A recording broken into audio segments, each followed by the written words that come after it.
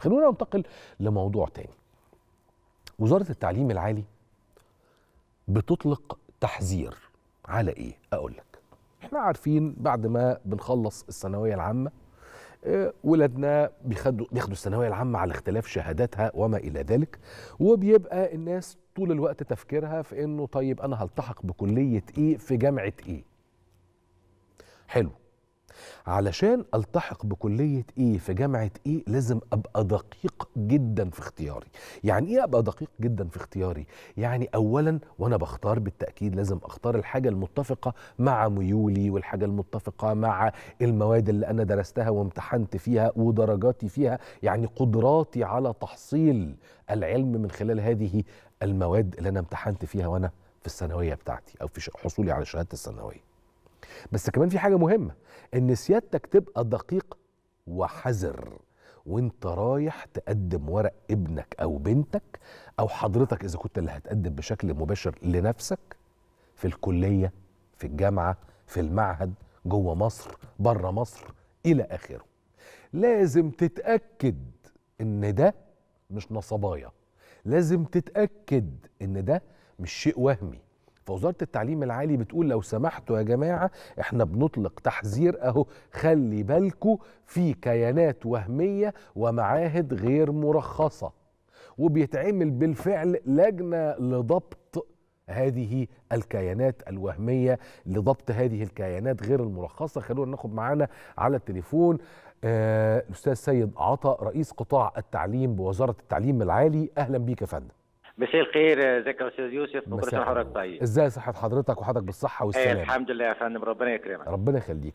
إحنا عايزين نعرف إيه اللي بيحصل؟ هل فعلا لسه في ناس بتنصب على المواطنين بدعوى أن هذا معهد وهذه كلية وهذه جامعة وبتبقى كيانات وهمية ودور الوزارة إيه في ده يا فندم؟ للأسف حضرتك آه، طبعا بتتكلم بمنتهى الصراحة.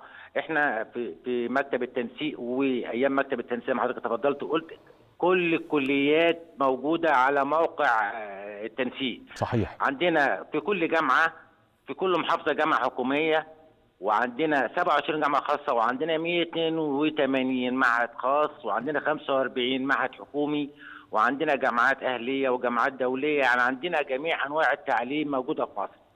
للأسف إن بعض الطلبة يحلو لهم إنهم يروحوا يقدموا في كيان غير معترف به أو غير معتمد. مم. إحنا بنقول للطلبة أي حاجة أو أي كيان مش مسجل أو مش موجود على موقع وزارة التعليم العالي فهو كيان وهمي.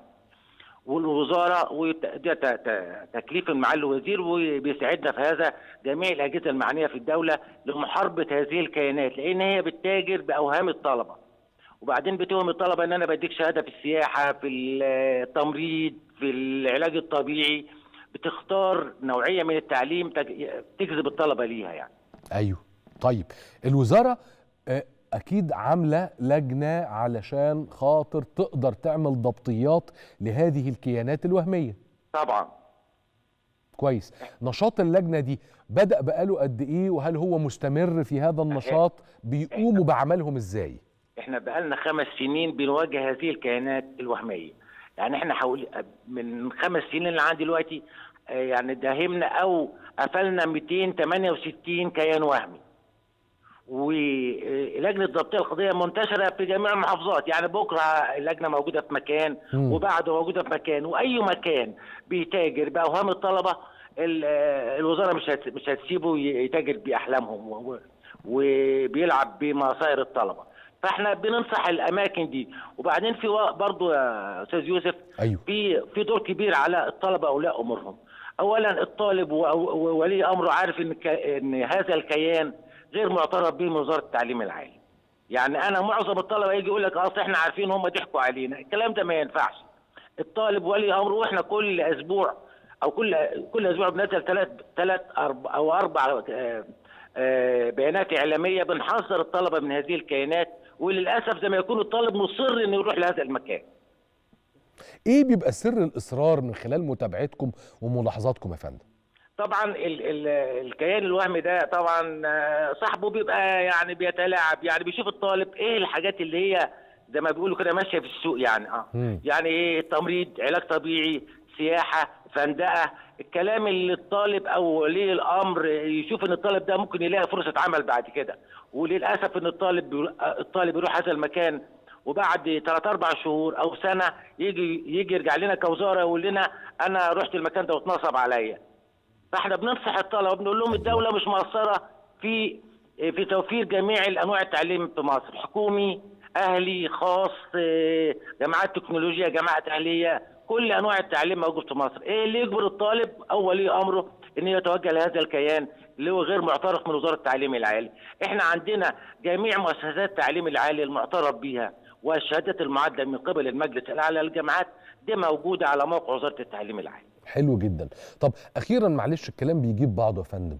افترضنا انه ولي الأمر عاوز يا ابنه يتعلم في مكان ما خارج البلاد. هل برضو على موقع الوزارة هلاقي الجامعات والأماكن التعليمية المعتمدة من قبل وزارة التعليم العالي المصرية؟ تمام كويس قوي إن حضرتك اتكلمت في النقطة دي. جميع ال- المؤسسات التعليمية اللي في الخارج المعادلة شهاداتها في مصر ده موجود على موقع المجلس الأعلى للجامعات. حلو قوي أصل إحنا في جيلي زمان كان حضرتك أكيد تتذكر ده كويس. كان طبعا. في بعض الطلبة آه، ما جابوش مجاميع بتاعة كليات الطب في جامعات مصر.